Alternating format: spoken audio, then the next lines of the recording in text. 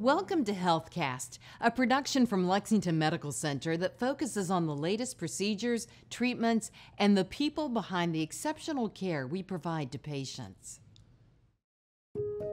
No patient wants to hear the words, you have a brain tumor, and that is why we are exploring the use of GammaTile. It is a newly FDA approved device that goes in the brain right after the removal of a malignant tumor. It is now being offered here by a team of Lexington Medical Center doctors who are part of the hospital's brain tumor program. Dr. Jonathan Ng, a neurosurgeon with Lexington Brain and Spine Institute, is one of the physicians performing GammaTile therapy. GammaTile is a form of brachytherapy, and brachytherapy is implantable radiation therapy. So when people think about radiation therapy, usually they're thinking external beam, an external source, or some sort of radiation source that's given to them, which is by far more common. But brachytherapy has certain advantages. GammaTile is a specific type of surgically implantable radiation through these very focused and very precise sources that can be implanted at the end of brain surgery after certain operations. After removal of the malignant brain tumor, the surgeon immediately places the GammaTiles in the tumor site. Each GammaTile has bioresorbable collagen in it, and embedded inside that collagen are four cesium seeds of radiation.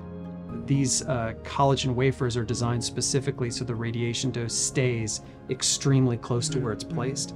And so that keeps it from having a meaningful dose to the tissues that need to heal outside of the brain.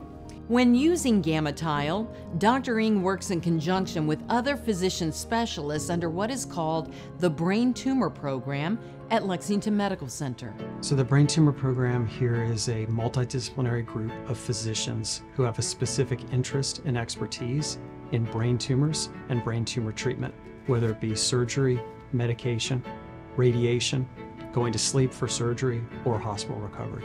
One of those physicians is Dr. Quillen Davis, a radiation oncologist. He says for certain groups of patients, GammaTile is an advantageous way to deliver radiation. The GammaTile at this time is used often in patients that have already received other treatments prior to that, such as conventional radiation treatment and or previous resections and radiosurgery. And that's why in that group of patients that this is a favorable approach uh, to delivering radiation. It takes about five minutes to place the GammaTiles in the brain. Being able to put the radiation source directly where the tumor was is significant to treatment. The GammaTiles deliver 50% of the therapeutic dose within the first 10 days. This fast dosing helps keep any remaining tumor cells from duplicating.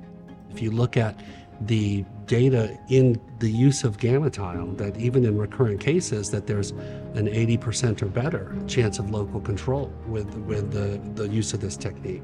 Eventually, the patient's body absorbs the tiles. Only the small titanium sources stay in the body, but they become inactive and are harmless. In addition, while the radiation is active, it is not harmful to others around you. You're not toxic uh, you're able to go home to your family. Mm. Uh, you don't have to worry about this having effects on other people. And I'm very proud that here at Lexington that we've been able to put that together for the people of the Midlands to have the GammaTile available because we're one of the few, frankly, in the Southeast at which that this procedure can be done. And so it's a real resource for us to have that right here in our own community our lung cancer patients, our breast cancer patients, our kidney patients, and our melanoma patients, and those are the big four that go to the brain, are all living considerably longer with breakthroughs in immunotherapy and targeted therapy than they were 10 or 15 years ago. And that increases the likelihood that you are going to have to deal with a brain metastasis. And if that happens, you want to have a multidisciplinary approach to deal with it. GammaTile is considered a one and done complete therapy, allowing patients to go about their lives. And since GammaTile confines radiation to the area of concern and protects the rest of the brain, it limits side effects. The important thing uh, to remember about the GammaTile and about the treatment for brain tumors in general is that there's, there's great success both in the present and on the horizon for patients with these difficult to treat tumors. And so we always have to maintain hope and work our, as hard as we can uh, to get the very best results for these patients.